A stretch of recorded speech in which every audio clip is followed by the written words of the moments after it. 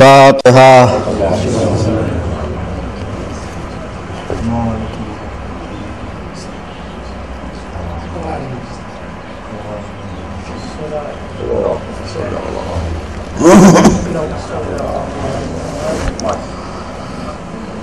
أعوذ بالله السميع العليم من الشيطان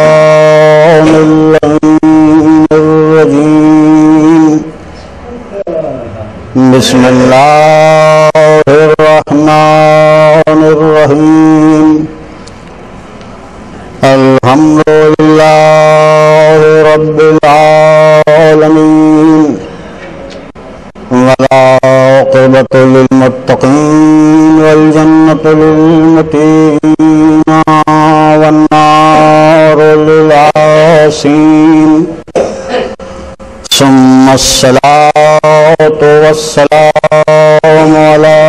أشرف المرسلين وخاتم النبيين سيد الأولين والآخرين خير المبشرين والمنذرين سيدنا ونبينا وشفينا بالقاء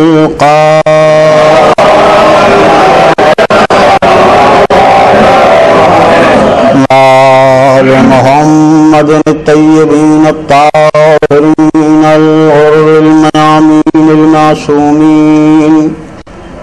من يومنا هذا إلى يوم الدين. أما بعد فقد قال الله سبحانه تبارك وتعالى في كتابه المبين وهو أصدق الصادقين. قد جاءكم من الله نور وكتاب مبين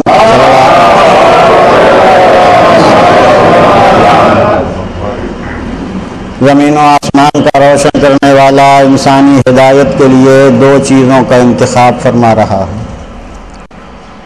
ارشاد ہوتا ہے کہ گروہ مردم اللہ کی طرف سے تمہاری ہدایت کے لیے تمہارے پاس دو چیزیں آئیں۔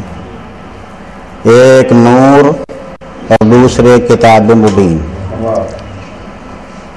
بڑی نورانی آیت ہے کہ جسے سن کے اہل ایمان کے دل نورانی ہو جائیں آنکھوں میں خیرگی پیدا ہو۔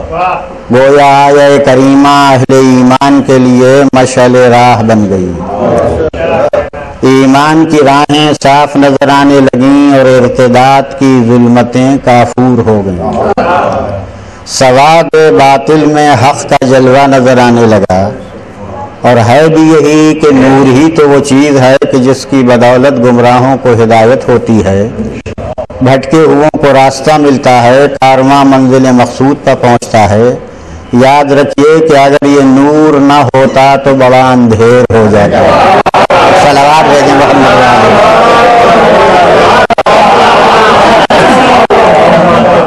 اور آج کل تو حضور روشنی کا زمانہ ہے، پرانی روشنی نہیں، نئی روشنی کی پکار ہے۔ کور دل، کور دانش نہیں، بلکہ روشن ضمیری قاہد ہے۔ اور پھر بھی ہر ایک کو نور ہی کی جستجو ہے، نور ہی کی تلاش ہے۔ اس لیے کہ نور ہی کی بدولت اشیاء کا حسن و قبو سمجھ میں آتا ہے۔ اچھے اور برے میں امتیاز ہوتا ہے۔ ہر رو برد میں فرق کیا جاتا ہے۔ نزل اسمار اسی کے سبب واقع ہوتا ہے۔ کشتیاں ساحل مراد پر اسی کے سہارے پہنچتی ہیں۔ جواہرات میں چمک اسی کے تصدق میں پائی جاتی ہے۔ غرض کے عالم کا ظلمت کا دا اسی سے پر نور بنا رکھا ہے۔ اچھا صلوات بھیجیں محمد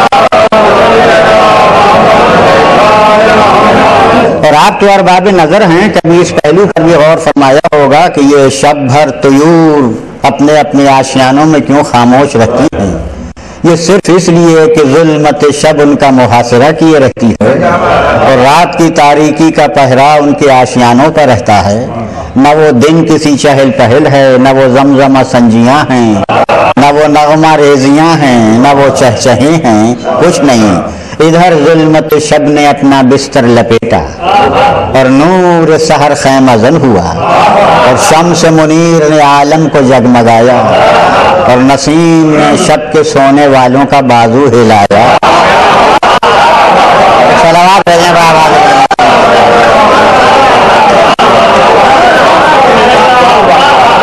تو اب انہوں نے بھی شاخ گل کے ممبر پر بیٹھ کے نغمہ سنایا۔ سارے چمن کی دنیا جاگ اٹھی۔ نونے حالان چمن وید میں جھومنے لگے۔ گلشن میں ایک نئی بہار آ گئی۔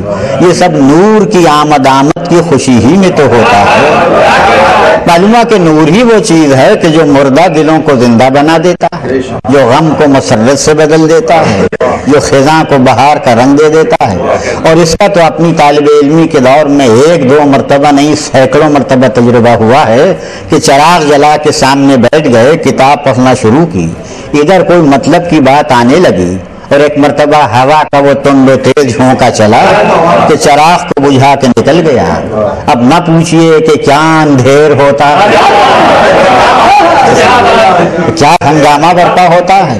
کتاب کھلی کی کھلی رہ جاتی ہے۔ حروف سکتے میں پڑ جاتی ہے نقطوں کے چہرے اتر جاتے ہیں۔ دائروں کی کمر خمیدہ ہو جاتی ہے، سطروں میں ماتم برپا ہوتا ہے، متن کا رنگ فخ ہو جاتا ہے، حاشیے کی بزم زیر و زبر ہونے لگتی ہے۔ ہر ہر سیاہ پوش نظر آتا ہے۔ یہ صرف اس لیے کہ نور نہ رہا۔ حالانکہ کتاب اب بھی موجود ہے۔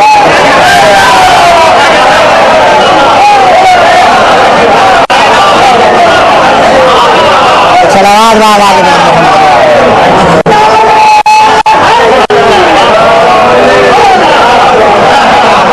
اس کتاب اب بھی موجود سمجھ میں نہیں آتی۔ عبارتیں اب بھی سامنے ہیں، مگر پڑھنے میں نہیں آتی۔ مطالب اب بھی موجود ہیں، مگر ذہن نشین نہیں ہوتے۔ نقطہ اب بھی موجود ہے، مگر نقطۂ نظر میں دم نہیں کہ جو نظارہ کر سکتے ایک چراغ کے گل ہو جانے سے یہ ہنگامہ ہو گیا۔ ایک شمع کے خاموش ہو جانے سے یہ اندھیر برپا ہو گیا۔ میں اس نتیجے پر پہنچا کہ محض کتاب کافی نہیں ہے جب تک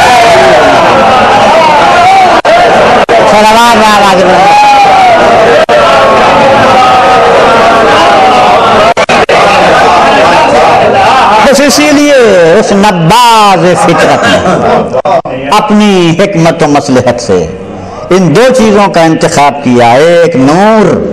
اور دوسرے کتاب مبین۔ معلوم ہوتا ہے کہ اگر محض کتاب مبین کافی ہوتی، تو پھر نور کے بھیجنے کی کیا ضرورت ہے میں کہتا ہوں کہ روزمرہ کی چیزوں میں دیکھیے کہ نور کی کیا اہمیت ہے اور نور کا وجود کتنا ضروری ہے۔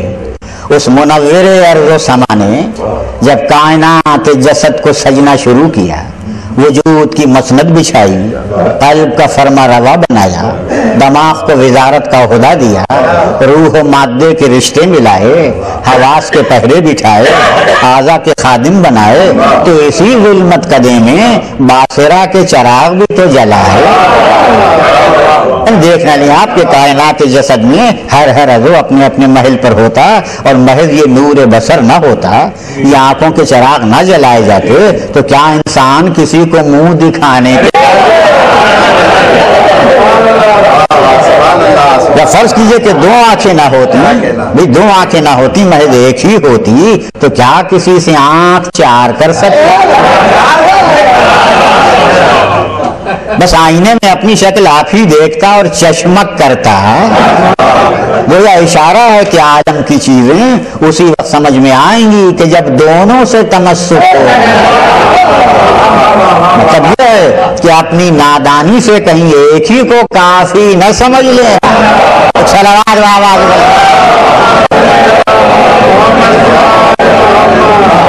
دیکھ رہے آپ کہ جس کے پاس محض ایک ہی ہوتی ہے، آخر میں وہ بھی تو ضرورت محسوس کرتا ہے کہ چلو ایسے میں موقع غنیمت ہے۔ دوسرے کی جگہ خالی ہے، بنا کے بٹھا دو۔ بنا کے بٹھا دو۔ لہذا مصنوعی لا کے رکھتا ہے۔ مجاز پر حقیقت کا رنگ چڑھاتا ہے۔ نقل کو اصل کا قائم مقام بناتا ہے۔ تاکہ دنیا دھوکے میں پڑ جائے۔ مگر غواس نگاہیں، حقیقت شناس نظریں۔ وہ ایک ہی نظر میں تار جاتی ہیں۔ کہ ارے بنا کے بٹھا دینا، یہ تو ان کی پرانی سلوار بابا ارے کے بلند بس جو حقیقت صاحب منصب ہے، وہ دیکھ دیکھ کے مسکراتا ہے کہ کیا ہوگا اگر تم نے بنا کے بٹھا دیا۔ ارے وقت پڑے گا تو مشکل کشائی ہم ہی کریں گے۔ جھکنا ہماری ہی طرف پڑے گا۔ راز اس وقت کھلتا ہے کہ جب کوئی تحریر سامنے آتی ہے، جب کوئی کتابی مسئلہ سامنے آتا ہے۔ خود میں تو اتنی صلاحیت ہے نہیں کہ جو پڑھ کے سنا دے۔ اس لیے کہ مصنوعی ہے۔ لہذا فرائض منصبی کے انجام دینے سے قاصر رہ جاتی ہے۔ نتیجہ یہ ہوتا ہے کہ ہم پہلو کو اشارہ ہوتا ہے کہ اس وقت عزت تمہارے ہاتھ ہے۔ مشکل کشائی تمہارے ہاتھ ہے۔ جو حقیقت صاحب منصب ہے، جب وہ مشکل کشائی کر دیتا ہے، تو اسے بھی اعتراف کرنا پڑتا ہے کہ اگر تم نہ ہوتے تو میں ہلاک۔ سلوات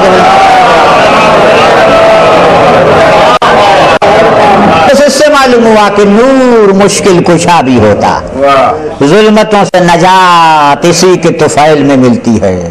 تاریخ وادی اسی کے سہارے طے ہوتی ہے۔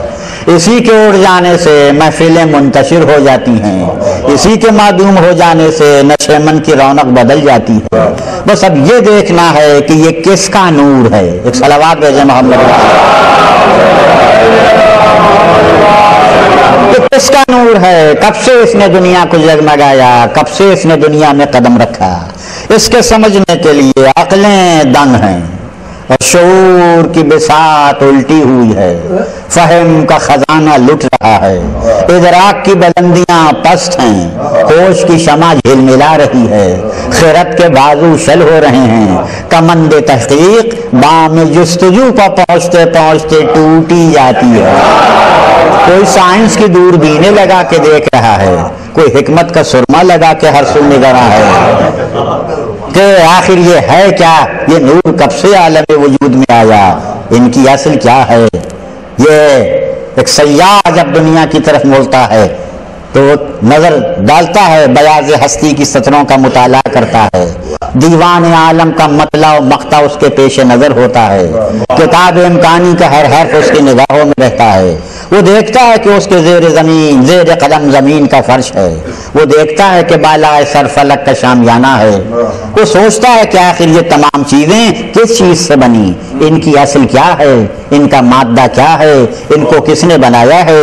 اس لیے کہ اگر یہ تمام چیزیں عناصر اربا سے بنی تو سوال یہ کہ عناصر اربا کس چیز سے بنی بھئی عناصر اربا اگر مادہ ہوئے تو مادہ ثانیہ ہوئے، نہ کہ مادہ اولا۔ اور یہاں تلاش جستجو جو ہے وہ مادہ اولا کی۔ تو سب سے پہلے یونان کا ایک حکیم دی مقراتیس آگے بڑھتا ہے۔ اور وہ یہ کہتا ہے کہ آسمان و زمین کے بیچ میں جتنی فضا ہم کو نظر آ رہی ہے، اس میں مادہ ہی مادہ پرواز کر رہا ہے۔ جس کی ابتدائی حالت ٹھوس ذرات کی ہے۔ یہ ذرات انقسام وہمی کو قبول کرتے ہیں لیکن تقسیم خارجی کو نہیں۔ ان ذروں کی حقیقت کیا ہے؟ وہ کہتا ہے کہ ان ذروں کی حقیقت بالکل ایک ہے۔ یہ اتنے مختصر ہیں کہ نہ تو کسی ضرب سے ٹوٹ سکتے ہیں نہ کسی آلے سے کٹ سکتے ہیں۔ اس کا کہنا یہ ہے کہ یہ ذرے ایک سوئی کی نوک پر کئی کروڑ ذرے جمع ہو جاتے ہیں۔ اور جب یہ ذرے جمع ہو جاتے ہیں تو جسم کی صورت عالم وجود میں آ جاتی ہے۔ تو حضور والا، یہ اسی مادے ہی کی کار فرمائیوں کا نتیجہ ہے کہ جو انسان اس بام ارتقا پر پہنچ گیا، آوازوں کو اس نے اسیر کر لیا، ہواؤں کو اس نے مسخر کر لیا، پانی پر وہ راستہ چلنے لگا، دوش ہوا وہ پرواز کرنے لگا۔ مشتری پر کمن پھینکنے لگا زہل سے روابط قائم کرنے لگا۔ مجھے کہنے دیجیے کہ انسان جہاں تک ترقی کرتا جائے، اسے دل کھول کے ترقی کر لینے دیجیے۔ پھر بھی آخر میں مجھے اتنا کہنے کا حق حاصل رہے گا کہ خلائے بسیط کو طے کر کے ستارے پر جانا اور ہے۔ تو زمین پر بیٹھ کے ستارے کو بلا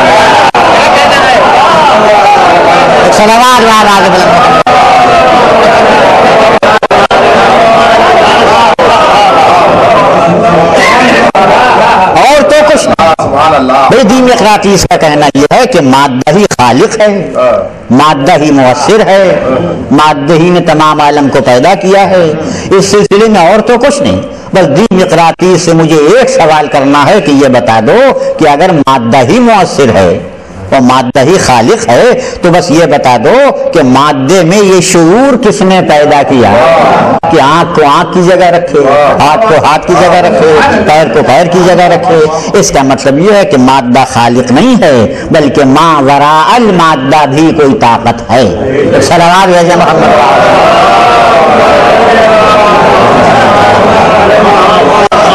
اس کے بعد متکلمین آگے بڑھتے ہیں۔ بس زیادہ عرض کرنا نہیں ہے، متکلمین آگے بڑھتے ہیں۔ ان کا کہنا یہ ہے کہ یہ تو صحیح ہے کہ زمین و آسمان کے بیچ میں جتنی فضا ہے، اس میں مادہ ہی مادہ پرواز کر رہا ہے۔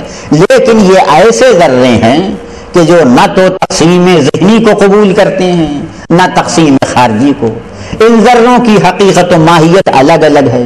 ان میں بعض پانی کے اجزاء ہیں، بعض آگ کے اجزاء ہیں، بعض ہوا کے اجزاء ہیں، بعض مٹی کے اجزاء ہیں۔ اور جب خلاق عالم کو منظور ہوتا ہے، تو وہ ان ذرات کو جمع کر کے جسم کو خلط وجود پہنا دیتا ہے۔ اب میرا مجمع سوچے کہ دی مقراطیس اور متکلمین کے نظریات میں اپنے اپنے مقام پر خود کتنا اختلاف ہے کہ دی مقراطیس مادے کو خالق مان رہا ہے۔ متکلمین مادے کو مخلوق مان رہے ہیں۔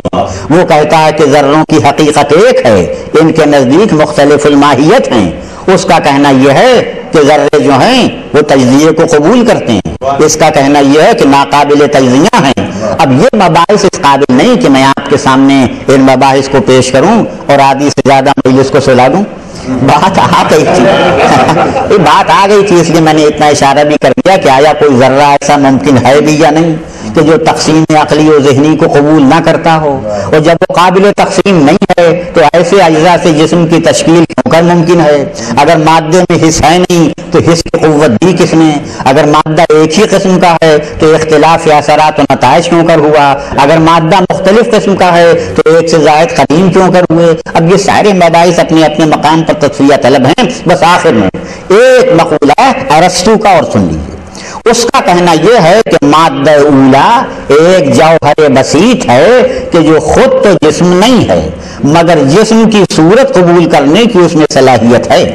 جیسے دانا خود تو درخت نہیں ہے لیکن درخت کی صورت قبول کرنے کی اس میں صلاحیت ہے۔ ایک دانہ زمین میں ڈالا، کچھ عرصے کے بعد اتنا تناور درخت روئیدہ ہو گیا۔ شاخوں نے اپنے دست و بازو اتنے پھیلا لیے کہ پورا قافلہ اس کے سائے میں پناہ لینے لگا۔ کم از کم یہ منظر دیکھنے کے بعد میرا تعجب تو ختم ہو جاتا ہے کہ جب اتنا بڑا درخت ایک تخم میں چھپ سکتا ہے تو کیا سارا قرآن نقطے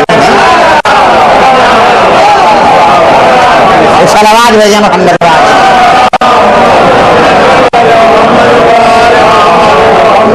اس کا کہنا یہ ارسطو کا کہنا یہ ہے کہ مادہ ایک صورت چھوڑ کے دوسری صورت کے لباس میں ہمارے سامنے آتا رہتا ہے۔ پھر فرض کیجیے اگر پانی ہوا ہو جائے، تو سوائے اس کی اور کیا کہا جا سکتا ہے کہ پہلے پانی کی شکل تھی؟ اور اب اس کی جگہ ہوا کی شکل آ گئی۔ لیکن وہ چیز کہ جس میں پہلے پانی کی شکل تھی اور بعد میں ہوا کی شکل آئی، وہ اپنے مقام پر باقی ہے۔ بس جو چیز باقی ہے، اس کا نام ہے مادہ اور حیولہ، اور جو چیز بدل رہی ہے، اس کا نام ہے صورت۔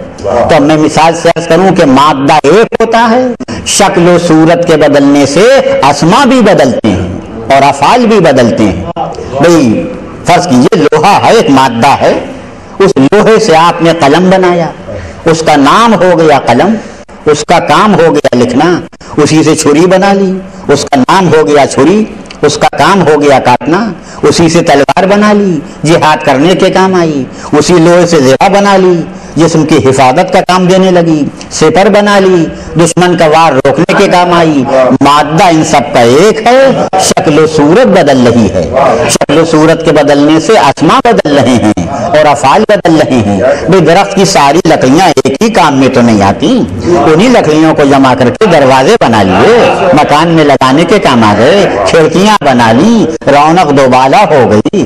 انہی کو جمع کر کے ممبر بنا لیا، خطیب پہ کام آ گیا، کرسی بنا لی، کرسی صدارت کہلائی قلمدان بنا لیا قلمدان وزارت کہلایا، تندور بنا لیا گھر گرستی رکھنے کے کام آ گیا عطردان بنا لیا، ہمیشہ خوشبو بسی رہی۔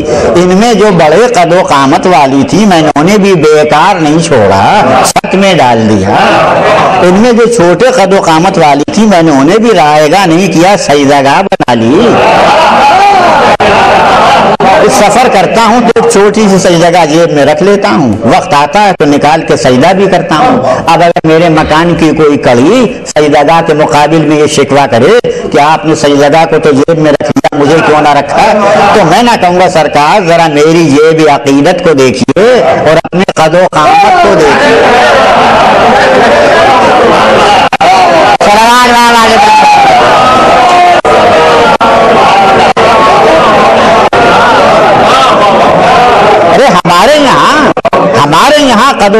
سے کچھ نہیں ہوتا، صلاحیت دیکھ کے منصب حوالے کیا۔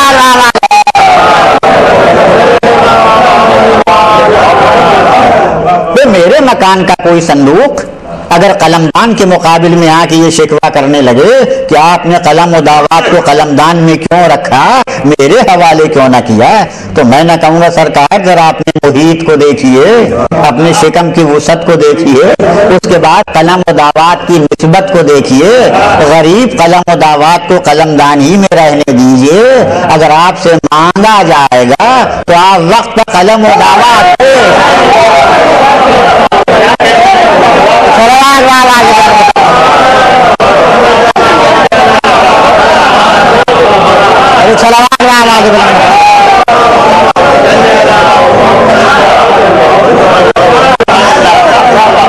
معلوم ہوا کہ مادہ ایک ہوتا ہے، شکل و صورت بدلتی رہتی ہے۔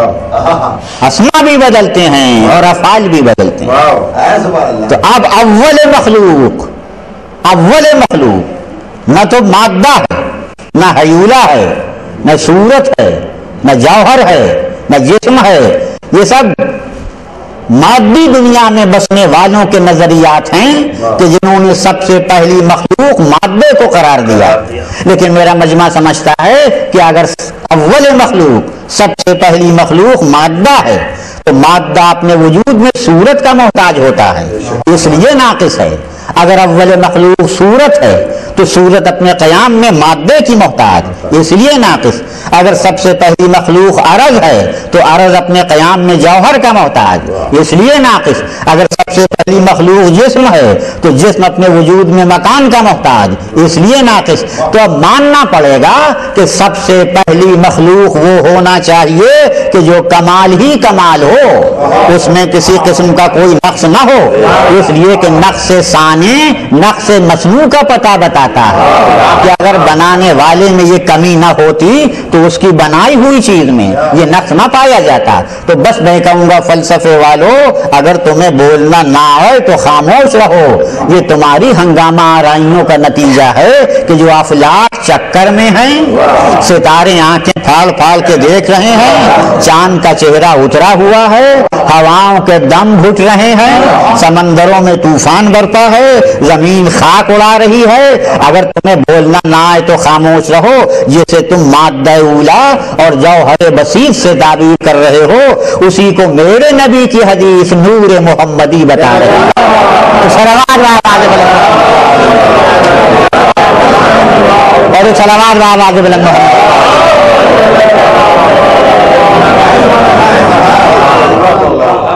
اب یہاں پہنچنے کے بعد مجھے مناقب کی کتابوں میں مختلف قسم کی حدیثیں ملتی ہیں۔ کہیں پیغمبر نے فرمایا ہے کہ اول ما خلق اللہ اللہ، سب سے پہلے اللہ نے لوح کو پیدا کیا۔ کہیں فرمایا کہ سب سے پہلے قلم پیدا ہوا۔ کہیں فرماتے ہیں سب سے پہلے عرش پیدا ہوا۔ کہیں فرمایا سب سے پہلے عشق پیدا ہوا۔ کہیں فرماتے ہیں سب سے پہلے پانی خلق ہوا۔ کہیں فرمایا سب سے پہلے نور خلق ہوا۔ کہیں اپنی طرف نسبت دی کہ سب سے پہلے میرا نور خلق ہوا۔ تو اب ظاہر ہے کہ یہ تمام کی تمام احادیث ایک وقت میں تو صحیح نہیں ہو سکتی نا۔ فلسفے نے تو اسے باطل کر دیا ہے۔ یہ کہہ کے کہ الواحد لا یصدر عنہ الا الواحد۔ ایک سے ایک وقت میں ایک ہی چیز تو صادر ہو سکتی ہے۔ متعدد چیزیں تو نہیں۔ تب ایک وقت میں یہ متضاد قسم کی حدیثیں کیوں کر صحیح ہو سکتی ہیں؟ ایک سلوات بھیجے محمد بس ایک مثال سے واضح کروں تاکہ بچے آسانی سے سمجھ لیں۔ مثال ہی سمجھیے گا حقیقت نہ سمجھیے گا۔ بھائی مثال جو ہے وہ حقیقت نہیں ہوتی حقیقت سے قریب کر دیتی۔ ہے ایک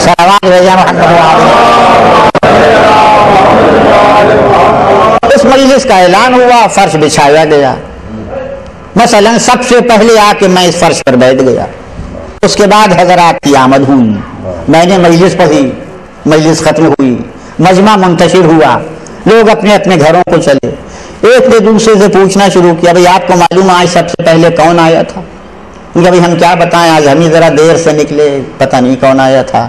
اچھا فرض یہ کہ اسی مجمع میں میرے استاد محترم تشریف فرما تھے ان سے پوچھا ان کا سب سے پہلے میرا شاگرد آیا تھا۔ اچھا میرا کوئی شاگرد موجود تھا اس سے پوچھا اس نے کہا سب سے پہلے میرے استاد آئے تھے۔ میرا لڑکا موجود تھا اس سے پوچھا اس نے کہا سب سے پہلے میرے باپ آئے تھے۔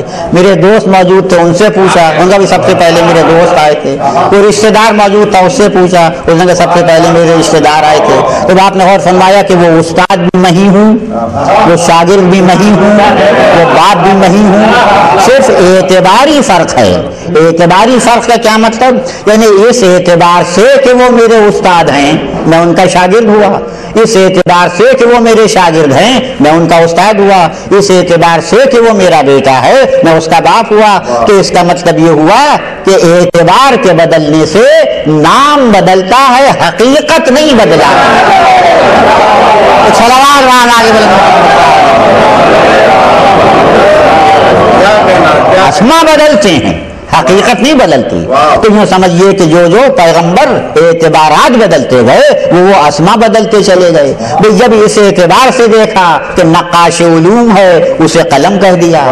جب اس اعتبار سے دیکھا کہ امور غیب نقش ہیں اسے لو کہہ دیا۔ جب اس اعتبار سے دیکھا کہ وجہ بقائے عالم ہے اسے پانی کہہ دیا۔ جب علو مرتبہ کے اعتبار سے دیکھا عرش کہہ دیا۔ جب دفع ظلمت کے اعتبار سے دیکھا نور کہہ دیا۔ اور جب ماہیت کے اعتبار سے دیکھا کہ نور محمد کر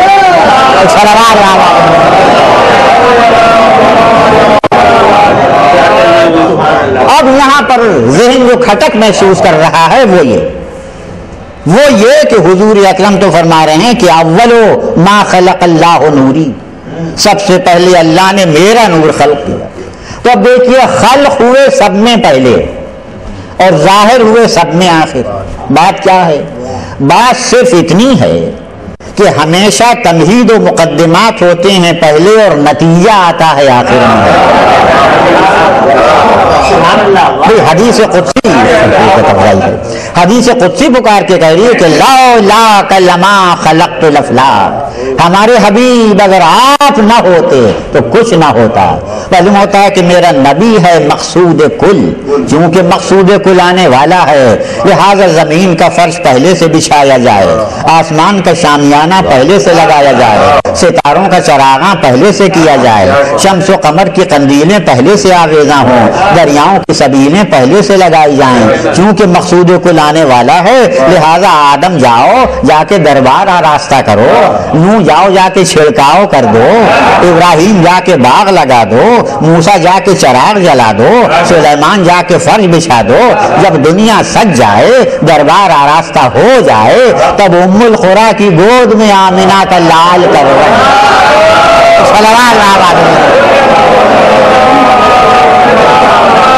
اور سلوار رام آگے بلند محمد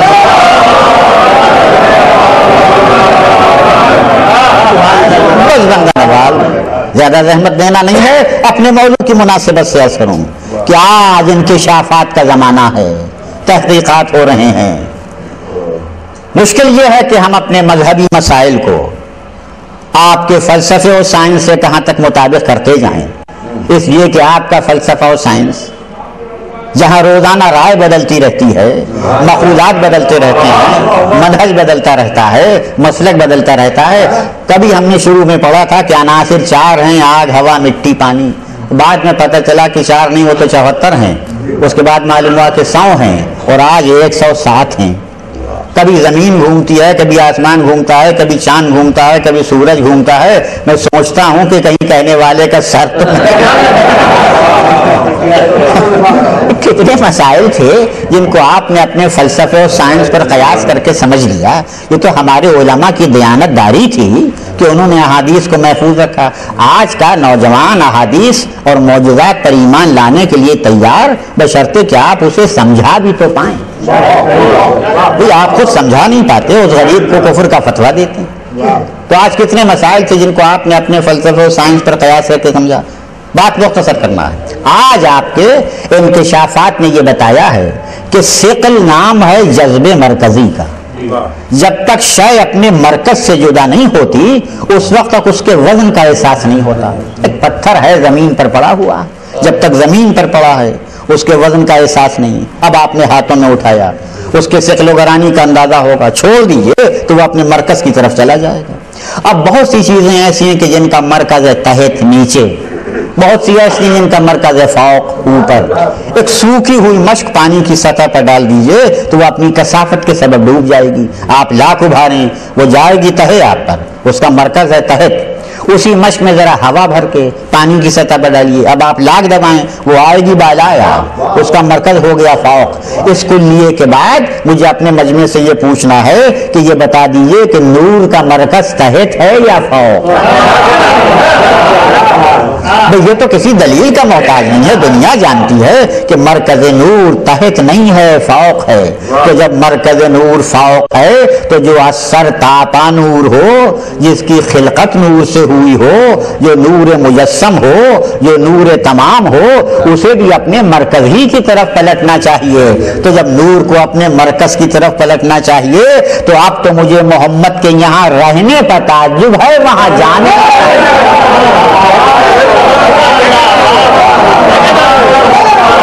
Salawat wa ala Muhammad دنیا کہتی ہے کہ پیغمبر آج کر گئے کیوں کر؟ مجھے تعجب ہے کہ پیغمبر زمین پر رہے کیوں ان کا یہاں رہنا قابل تعجب ہے، وہاں جانا قابل تعجب نہیں ہے۔ یقین جانیے کہ اسی غلط فہمی کا شکار کچھ بھولے بھالے مسلمان بن گئے۔ انہوں نے کہنا شروع کیا کہ پیغمبر کو میراج روحانی ہوئی جسمانی نہیں۔ اس سلسلے میں انہوں نے دو شخصیتوں کو بدنام کیا ایک تو حضرت ام المومنین کو اور دوسرے امیر شام کو۔ ام المومنین یہ فرماتی ہیں کہ پیغمبر کو معراج میرے بستر سے ہوئی، تو جسم تو میرے ہی بستر پر رہا۔ یہی اس کا ثبوت ہے کہ آپ کو روحانی معراج۔ بالکل یہی قول منسوخ کیا امیر شام کی طرف۔ اب میں عرض کروں کہ یہ دونوں قول عقل کی بارگاہ میں کہاں تک قابل قبول ہیں۔ ام المومنین کا قول اس لیے قابل قبول نہیں کہ ام المومنین کا نکاح ہوا پیغمبر کے ساتھ مدینے میں، پیغمبر کو معراج ہوئی ہے مکے میں۔ تو یہ نکاح سے پہلے مکے کے بستر کی خبر کیسے ہو سلوار بھیجا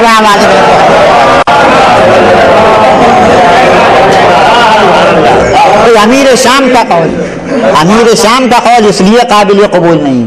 کہ انہوں نے اسلام قبول کیا سن آٹھ ہجری، فتح مکہ کے موقع پر۔ معراج کا واقعہ ابتداء بیست کا۔ تو زمانہ کفر کی بات کا اعتبار نہیں۔ قرآن نے ساری گتھیاں ایک لفظ سے حل کر دی۔ کہ سبحان الذي اسرا بعبده پاک منزہ ہے وہ کہ جو اپنے بندے کو لے گیا۔ اب اگر بندہ صرف روح کو کہا جاتا ہو۔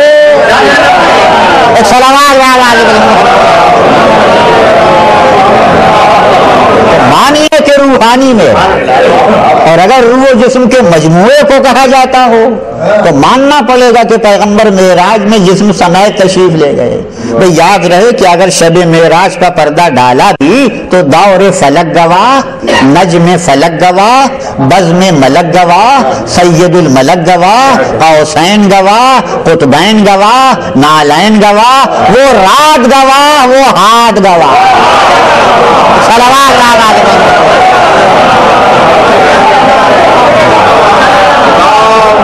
صلوات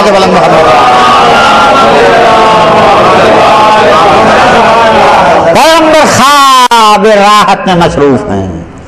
حکم الہی مچل رہا ہے کہ جگہ کے رہنا۔ اور نبوت کا نہوب جلال اذن نہیں دیتا کہ قدم بڑھانا۔ ملکیت جب کشمہ کش میں ہے۔ ادھر سے دوسرا ملک آتا ہے۔ جبرائیل دیر نہ کرو۔ حکم الہی یہ ہے کہ اپنے رخ سارے ہمارے حبیب کے قدموں سے۔ کلموں سے مس کرو۔ اب حکم میں کہاں تاخیر ممکن تھی؟ ملک جھکا۔ رخسار مس کیے۔ بس ایک جملہ کہتا چلوں کہ جہاں فضیلت خود موقع دے رہی ہو کہ ملک کا جھکنا اور کفے پائے محمدی سے۔ رخسار مس کرنا یہ انداز بتا رہا ہے کہ جہاں پر میرے نبی کی بشریت کی حد ختم ہوتی ہے، وہاں سے ملکیت کا آغاز۔ ایک صلوات بھیجیں محمد والے بس ایک شکوہ کرتا چلوں بارگاہ الہی میں کہ میرے معبود اتنا بڑا مجمع ہے ملائکہ کا۔ اتنی بھری ہوئی محفل ہے۔ اتنے بڑے مجمع میں تو جبرائیل کے علاوہ کوئی ملک نہ ملا جو اس خدمت کا معمور ہوتا۔ یہ جبرائیل میں کون سے خصوصیات ہیں؟ تو عجب نہیں کی آواز آئے کہ کیا قرآن نہیں پڑھتا؟ دیکھ جبرائیل کے کتنے فضائل قرآن نے بیان کیے ہیں کہ ذی قوت عند ذی العرش مکین متعین سم امین۔ جبرائیل صاحب قوت ملک ہے، مقرب بارگاہ ہے، حافظ آیات الہی ہے، امین وحی ہے، سید الملائکہ ہے۔ جب اتنے فضائل کا جامع ملک مل گیا، تب اس خدمت کے لائق سمجھا گیا۔ کہ اب اس قابل ہوا۔ کہ ہمارے حبیب کے کفے پاس سے اپنے رخسار مس کر سکے۔ یہ جبرائیل کے فضائل کون بیان کر رہا ہے؟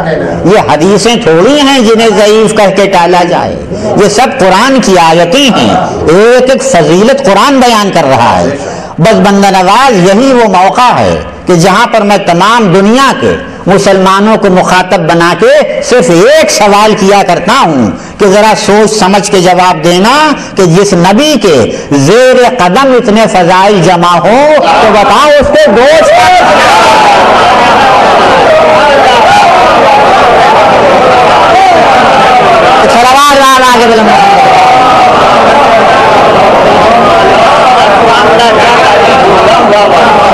اس ملک جھوکا رخسار مس کیے برود سفیر بن کے چلی دریچہ بسر کھلا۔ دیدہ شوق واہ ہوئے۔ قصد وضو کیا، رضوان جنا نے آب کوثر پیش کیا۔ پیغمبر نے وضو کیا، دو رکعت نماز پڑھی، میکائیل آگے بڑھے، سواری پیش کی۔ ادھر پیغمبر پشت بڑا کہیں جم کے بیٹھے۔ کہ جیسے سلیمان اپنی بساط پہ آ جائیں۔ ادھر پائے مبارک رکاب میں آئے اور ادھر قرآن کی لفظوں میں معنی رکھے گئے۔ ایک سلوات بھیجیں بابا جی۔ سواری چلی، بات ختم کرنا ہے، سواری چلی۔ اب وہ منزل آتی ہے کہ جہاں ملک کے لیے بھی دروازہ بند ہے۔ ملک یہ کہہ کے پیچھے ہٹ رہا ہے کہ یا رسول اللہ، اب اگر آگے قدم بڑھاؤں تو پر جل جائیں میں کہوں گا، جبرائیل کیوں نہیں آگے بڑھتے؟ کیا آگے قرآن نار ہے کہ جو پر جل جائیں گے؟ یہ قرآن نار تو پیچھے چھوٹ چکا۔ تو یاد رکھیے کہ ملک بھی اپنے نبی کی جلالت سے واقف ہے۔ سمجھتا ہے کہ اگر نبی کی جگہ پر قدم رکھ دوں گا، تو انجام میں جلنا ہوگا۔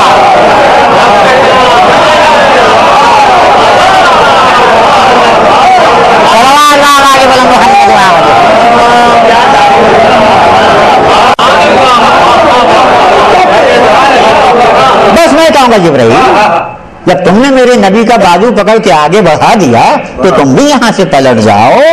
تو ملک جواب دے گا کہ کیا محمد کے جانے کے بعد میں پلٹ جاؤں؟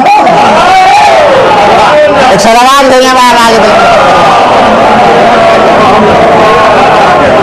جہاں محمد مجھے چھوڑ کے گئے ہیں میں اسی جگہ قائم رہوں گا۔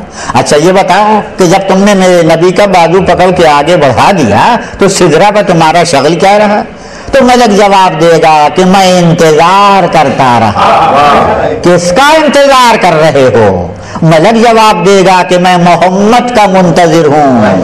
آؤ جبرائیل، ذرا اپنے ایمان کو تمہارے ایمان سے ملا کے دیکھوں۔ تم بھی محمد کے منتظر ہو، میں بھی محمد کا۔ سروار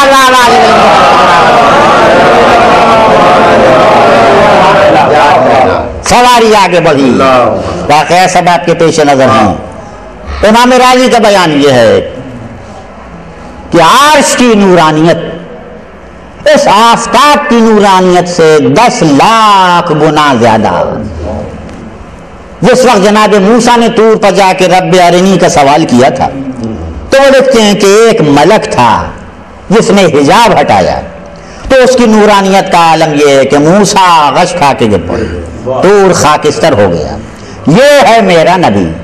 کہ شب معراج کروبین کی صفوں کو چیرتا ہوا۔ جب زیر عرش پہنچا تو قرآن نے مدح سرائی کی کہ ما زاغ البصر وما طغا۔ نہ تو پیغمبر کی آنکھ جھپکی اور نہ پیغمبر نے ادھر ادھر دیکھا۔ یہ ادھر ادھر تو وہ دیکھے جو منزل سے ناشنا ہو والا آگے بلند محمد۔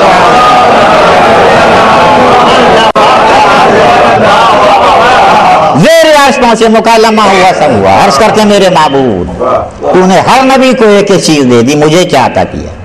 کہ جو مانگنا ہو مانگ لو۔ عرض کرتے میرے معبود، بس ایک مرتبہ، تو اپنی زبان مبارک سے مجھے اپنا بندہ کہہ دے۔ وہی لفظ قرآن نے رکھی کہ سبحان الذی اسرا بے ہی پاک ہے وہ، جو اپنے بندے کو لے گیا آواز آئی محمد میں نے تم کو اپنا حبیب بنایا۔ علی کو تمہارا جانشین بنایا۔ میرے معبود کا شب معراج اسی لیے بلایا تھا کہ علی کی ولایت کا اعلان کرانا تھا۔ جب سے پیغمبر بھی منتظر تھے کہ کوئی کھلا میدان بڑھو۔ اور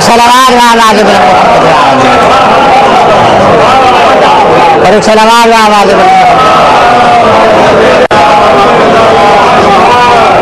وقت آیا تو پیغمبر نے ہاتھوں پر بلند کر کے ان کی معراج کو دکھا دیا۔ کبھی وقت آتا ہے تو اپنے کاندھوں پر بلند کرتے ہیں۔ یہ منظر دیکھنا ہو تو آ کے کعبے میں دیکھیے۔ کعبہ ہے کہ جو خدا سے چھلک رہا ہے۔ ہر مقصد کا خدا موجود ہے۔ اس میں غلے کا خدا اور ہے، بارش کا خدا اور ہے، اولاد کا خدا اور ہے۔ معبودان باطل نے معبود برحق کے گھر پر قبضہ کر لیا۔ اگر وہ چاہتا تو ذرا لب قدرت کو ہلا دیتا، اس کے گھر کا تخلیہ ہو جاتا۔ مگر یہی نہ کہ بیٹھے ہو تو بیٹھے رہو، تمہارے بیٹھے رہنے سے منصب میں کوئی فرق نہیں۔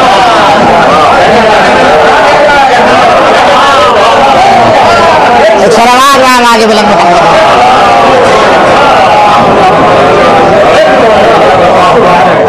منصب میں کوئی فرق نہیں آ سکتا۔ اس سے کلیہ معلوم ہو گیا کہ اگر کوئی صاحب منصب کسی موقع پر دشمنوں کی دشمنی سے خاموش ہو جائے، تو یہ نہ کہیے گا کہ بازوؤں میں طاقت باقی نہیں ہے۔ ایک سلوات بھیجے محمد سمیر المومنین سنم شکنی میں مصروف ایک مرتبہ ایک بت پر جا کے ہاتھ روکا۔ جھوک کے عرض کرتے ہیں، یا رسول اللہ یہ بت میرے جد جناب ابراہیم کی شبیہ ہے۔ پیغمبر نے فرمایا، علی، اس کی بے حرمتی نہ کرو، اسے زیر زمین دفن کر دو۔ معلوم ہوتا ہے کہ ہم شکل پیمبر، اگرچہ بت کیوں نہ ہو، لیکن اس کا احترام واجب ہے۔ بس آپ کے اذہان عالیہ ملتفت ہے بتائیے جو رسول کی جیتی جاگتی تصویر ہو، جس کے لیے مولا فرما چکے ہوں۔ اللہم شہد پالنے والے تو گواہ رہنا تیری راہ میں میرا وہ بیٹا مرنے جا رہا ہے کہ جو صورت میں، سیرت میں، رفتار میں، رفتار تیرے رسول سے مشابہ پالنے والے، ہم جب کبھی تیرے نبی کی زیارت کے مشتاق ہوتے تھے تو اپنے فرزن کو دیکھ کے تسکین کر لیتے تھے۔ پالنے والے، تیری راہ میں مجھے وہ بیٹا نبی عزیز نہیں ہوں مجھے کچھ خصوصیات و امتیازات نظر آتے ہیں جناب علی اکبر کے ساتھ۔ وہ کسی شہید کے ساتھ نظر نہیں آتے ایک تو یہ کہ مولا نے جس شہید کو رخصت کیا، اسے ہمیشہ ہمیشہ کے لیے رخصت کر دیا۔ لیکن جب مولا نے علی اکبر کو رخصت کیا، تو مولا اپنی جگہ پر ٹھہرے نہیں۔ آگے آگے علی اکبر کا گھوڑا، پیچھے پیچھے، بوڑھا باپ علی اکبر نے مڑ کے دیکھا، بابا، آپ تو مجھے رخصت فرما چکے کا بیٹا، نانا جان کی تصویر کا اشتراک پلٹ میں نہیں دیتا اے بیٹا، جب تک میرا اور تیرا سامنا ہے، پلٹ پلٹ کے اپنی صورت مجھے دکھاتے نہیں دوسری خصوصیت یہ کہ مولا نے اپنے ہاتھ سے علی اکبر کو زیرہ پہنائی، اپنے ہاتھ سے بالو پکڑ کے گھوڑے پر سوار کیا۔ اور تیسری خصوصیت مجھے یہ نظر آتی ہے کہ جو شہید گھوڑے سے گرا اس نے کسی نہ کسی انداز سے مولا کو مدد کے لیے ضرور پکارا۔ اصحاب گرے۔ تو آواز دی کہ واہ سیدہ حضرت، اے مولا ہماری مدد کی۔ جناب عباس کے تین بھائی گھوڑے گھوڑے سے گرے۔ آواز دی واہ حضرت، اے بھائی ہماری مدد کیجیے۔ جناب قاسم گھوڑے سے گرے۔ آواز دی واہ ماں حضرت اے چچا جان ہماری مدد کیجیے۔ اللہ دارو جب علی اکبر گھوڑے سے گرنے لگے، تو باپ کو مدد کے لیے نہیں پکارا۔ یہ نہیں کہا کہ واہ بتا حضرت بس کرتے کہ واہ بتا علیکہ من السلام۔ اے بابا، پانی کی زحمت نہ کیجیے گا۔ وہیں سے میرا سلام آخری قبول کیجیے۔ حسین چلے، والیا۔ والیا۔ والی اکبرہ علیکم اللہ۔ بس اللہ نے فکر سنیے آپ کی رحمت تمام۔ غور کیجیے گا کہ جب مولا کا یہ عالم ہے، تو لائلہ کا عالم کیا ہوگا؟ مقاتل لکھتے ہیں کہ جب آل محمد کا قافلہ قید شام کے چھوٹ کے مدینے آیا ہے اور مدینے میں پہلی عید آئی ہے۔ جناب، ام لیلا کی نظر ایک طرف نہیں ام لیلا نے چیخیں مار کے رونا شروع کیا۔ جناب زینب آگے بڑھے۔ لیلا علی اکبر شہید ہو گیا۔ تم اتنا بے قرار ہو کے نہیں روئی لاشا خیمے میں آ گیا۔ اتنا بے قرار ہو کے نہ روئی اس وقت کیا بات ہے؟ بس یہ جملہ سنیے۔ جب یاد آ جائے تب رو لیجیے گا۔ بس کہتی شہزادی، میری نظر ایک طرف مڑی تو میں نے دیکھا کہ علی اکبر کے ہم سے آپس میں گلے میں شہزادی، اگر میرا علی اکبر بھی موجود ہے میں بھی اپنے ہم سے نہ سے گلے ملتا دیکھا کہا، اللہ علی اکبر